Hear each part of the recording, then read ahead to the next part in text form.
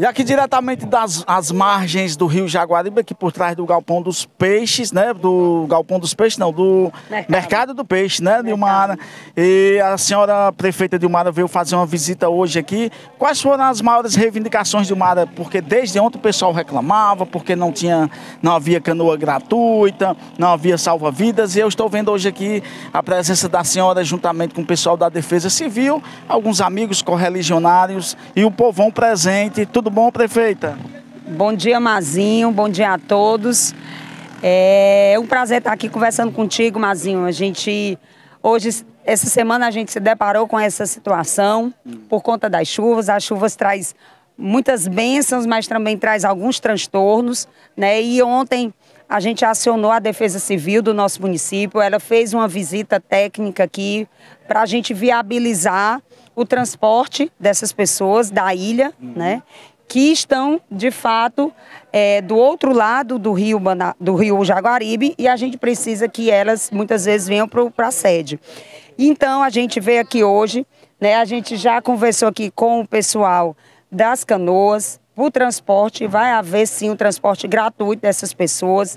A gente sabe que a gente precisa dar esse suporte, é um suporte que a gente já sabe que é uma dificuldade e com isso a gente vai amenizar mas que eu estou aqui juntamente com a secretária de Assistência Social, com Defesa Civil, e a gente está aqui entregando os coletes para que esse transporte seja feito da forma mais segura possível e que a gente vai garantir sim que essas pessoas tenham a mobilidade de ir e vir para fazer suas atividades. Ô, prefeita Dilmara, me diz uma coisa. É, ontem algumas pessoas aqui estavam reivindicando. A gente sabe que é, a senhora está prefeita aí há pouco tempo. É, essa é uma dificuldade muito grande, a travessia desse povo. É, realmente, nessa época do ano, quando as águas do, do, do rio Jaguaribe banham aqui o leito, eles ficam literalmente ilhados, né? Por isso que o nome ilha, e eles ficam literalmente ilhados.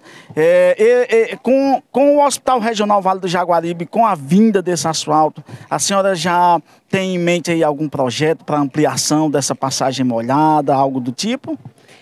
É, a gente precisa fazer esse planejamento. A gente sabe que é um planejamento que envolve muitos recursos, né? Mas que a gente tem sim, né? Que dá aí uma, uma viabilidade para esses, esses momentos de chuva, tá certo? A gente está trabalhando na gestão desde outubro, né? Um curto espaço de tempo, como você falou, mas que sim, a gente tem sim projetos para que a gente possa fazer aí uma obra para que a gente não fique à mercê, né? Desse período de chuvas. Mas se Deus quiser, a gente está aqui resolvendo o problema de hoje, uhum. né? Que é o mais importante, é a gente estar tá dando suporte às pessoas, cuidando das pessoas e que, se Deus quiser, a gente vai sim fazer esse planejamento e vai em busca de recursos. Então, a partir de hoje, prefeita Dilmara, 2 de abril de 2024, terça-feira, vai ter canoa gratuita para o povo da Ilha de Santa Terezinha?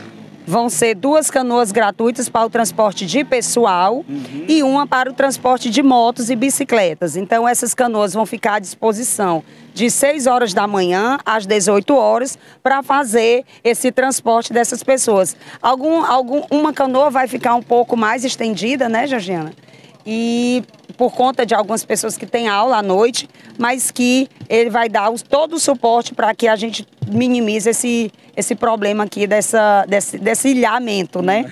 O problema é, é, é a solução tem que ser para hoje, né, Dilmar? A solução tem que ser para hoje. Ontem a Defesa Civil esteve aqui e a gente está aqui junto para acompanhar, né, para dar um pouquinho aqui de conforto para essas pessoas. Ok, prefeita Dilmar Amaral, diretamente é, daqui às margens do Rio Jaguaribe, onde a gente ah, vê aqui o, o pessoal sendo transportado de canoas, aqui pertinho do Mercado do Peixe.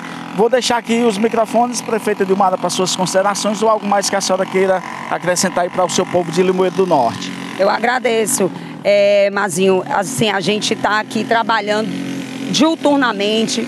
A gente sabe de toda a problemática das chuvas, o que a chuva causa nesse período, que é esburacamento das ruas, asfalto que é danificado, essa questão da mobilidade né, do pessoal da ilha e do Espinho, mas que a gente está trabalhando aqui.